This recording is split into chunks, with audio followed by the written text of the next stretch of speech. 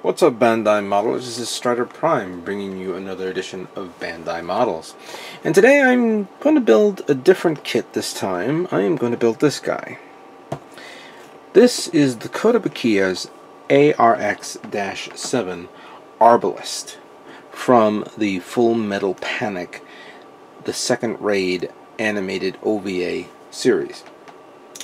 Um, it's not a Bandai kit, of course. It is a Kotobukiya kit, but considering that I have not made a title for Kotobukiya kits, and I don't have that many Kotobukiya kits, I thought maybe, you know, I'll just use the Bandai moniker. But this is a cool little D-style kit from Kotobukiya that I picked up a long time ago when Hobbylink Japan had a sale. And um, it was something looking at, I've been looking at the Arbalest for a long time, and actually it was one of those cool little mobile, um, not mobile suit, it was actually called, I think it was called an arm slave um, from the animated series, and I really think it was a nice, nice design of this. Interesting that the the the mouth guard or the mouthpiece has the, the you know you're holding the the the blade in the mouth, and uh, it had a shotgun instead of like any other uh, like the other weapons that other the robots had their assault rifles, sniper rifles, and bazookas. But this one had a shotgun, and I thought, all right, that's kind of unique to see that. But the overall colors and designs pretty much makes up for this kit.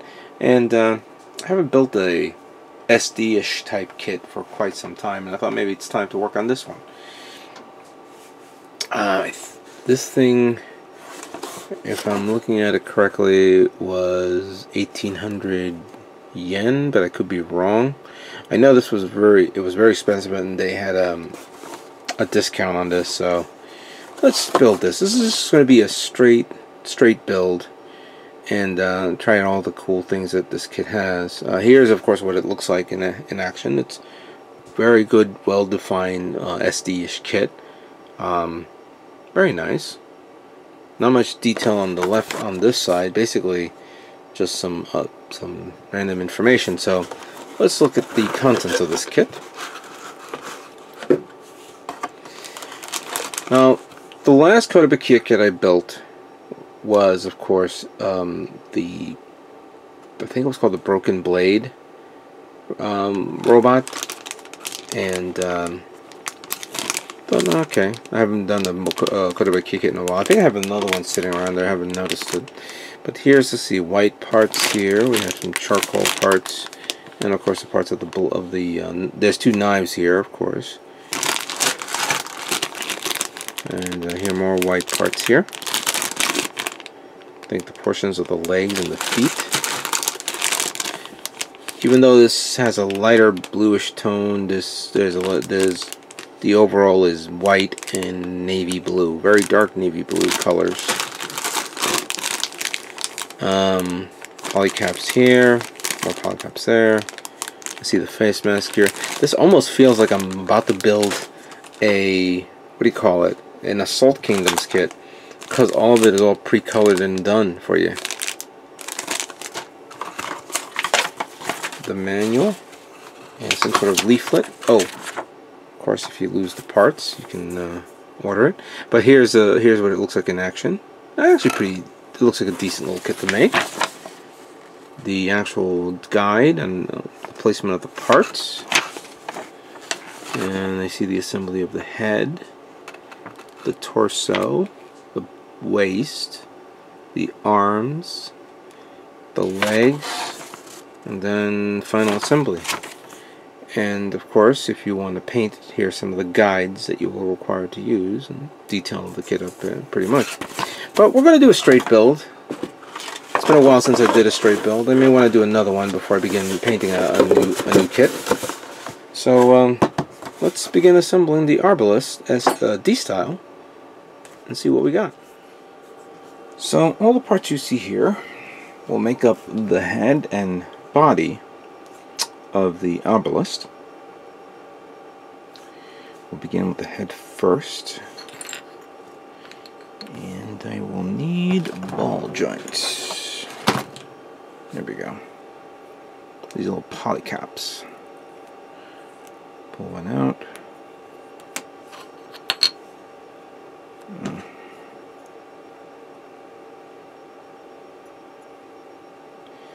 shave off the excess. Come on. There we go. Now using this, put that in here. Actually, no. Probably be this one. Yeah, because you're going to need this to put that in here.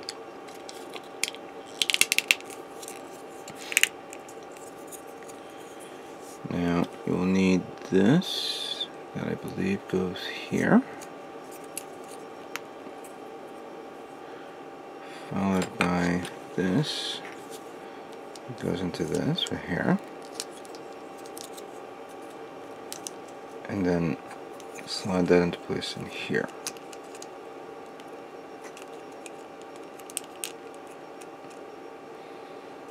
Uh, maybe I gotta put this one on first.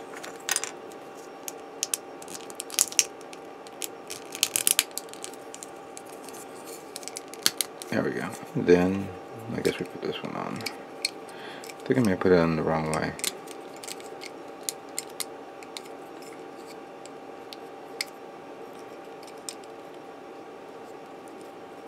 Hmm. Oh, wait a minute, this flipped up a bit. There, there we go. Now get that in there.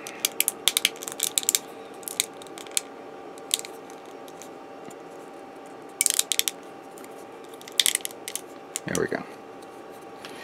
Now, these little parts here, they're these go in the chin. If you could see that. There's those that can be closed and those are can be opened. We're using the opened one because we want to keep it holding the um, the knife. So that these two go in here, and then we stick the little cute little. Ooh, this is the wrong knife. I pulled the wrong knife. That's all right. I'll get the right knife right now.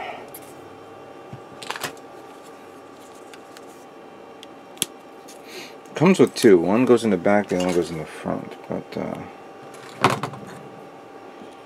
oh, no, it's the same one. Oh, I'm sorry. Because you got to slide it in here, and then I guess somehow shimmy this one in there, like so. I think I'm going to have to pull one out and pull, put this one in through here, then put it in like that. In the anime, the the actual blade uh, attachment, this thing pops out, so it falls down. So that's what it looks like. Moving on to this, we'll need another polycap ball. Okay, no, no excess there. Put that in there. Then we will need this. That goes like that. And then this part goes in here like so.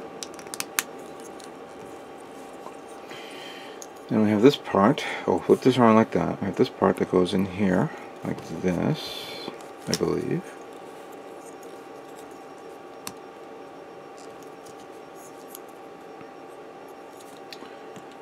followed by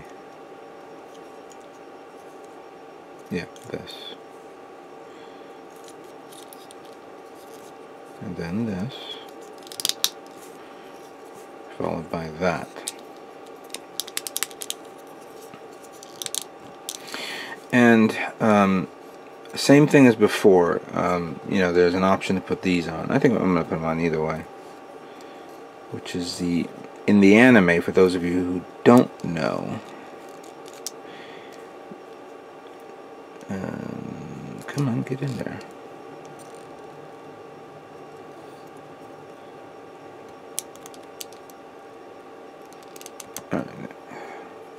This is going to be a little, alright, you know what? I'll put this on later because this thing is going to take time and I'm going to have to glue them on. So then we'll put this one in here. And that's what it looks like. And this thing's going to be a little loose, so I think I may have to glue it. Alright. So far so good. I just got to glue on those two parts, those four parts here. But what I was mentioning before, this um, the um, this robot had a um, a unique drive. I think it was called the Lambada uh, Lambada drive, and it gave it like extra power of some sort. It also did a, a things that that was beyond you know reality type thing. Those of you who remember the anime, wow, this thing's not going to go in, so I may have to glue them on. Alright, let me glue these on and then we'll move on to the next stage of this build. So, we're going to now build the arms and legs of the Arbalest D-style. And um, for this, we have this little part here. Now, this part is actually one of two because there's one that has this little notch this little thing that's sticking out was part of the Lambada drive um, things that were popping out, like in the back of the um, of the backpack. But it also pops out in the shoulder, so it looks like this. It comes with a part where you don't have you can replace it and put it like normal closed. So once you put that on, I'm gonna put this one on here. Like that. So that completes the shoulder the arm structure, take a little ball joint, stick it in through here, close it up like so. Then stick this one in here, like so. Then take this, take the, the hand, put a ball joint there, followed by this part that goes over the ball. You have this little poly um, poly that you want to stick it in through here until it goes all the way through there like that. Then you have this part that goes right under it. So like that. And then finally, I'm going to stick um, this like that. and this one goes in there like so. So that completes the arm. The leg is a bit tricky. You want to put the polycap in here and you want to stick it in all the way like so. Do not put these two together because this part will not go through and if you put if you put a lot of pressure it will still not work so you want to put it on first then put them all together like so the last part of course would be the foot itself. So you want the cover of the feet here. The ankle armor like that. And then you put this one in there like so. Oops wrong way. Like so. So it's nice and snug. There you have it the legs and arms of the D-style Arbalest is now complete let's put it together okay so this is pretty easy pretty simple Nothing too complicated. Put the legs here. I don't have to deal with skirt armor. And put the arms here. Like this. And that's pretty much it. That completes the build of the D-style Arbalest from Kotobukiya. you have the optional weapons here. You have the knife in its sheath. Kind of cool like that. And go in the back like so. If it stays in there. There we go. And then you have the shotgun, which in reality doesn't make any sense. Why would you have a shotgun where the inside is covered Yet the outside, on the, on the other side, is opened up. Doesn't make any difference or make any sense. There we go. So here's a close-up shot of the D-style arbalist. Very good detail. The one thing about the D-style compared to SD is their their uh, manipulators in their body are a little longer and more, you could say flexible, you could say. You don't see, you know, bendable arms by the um, by the uh, forearm on the um, D on the uh, regular SDs. You only see that here on these kits, but the detail is very good, and I, I kind of like this type of style. So far, the only thing, um, the only models that I've seen from Bandai that's coming close are the NX Edge versions, and those are not models. I think those are regular kits, or you know, pre-built.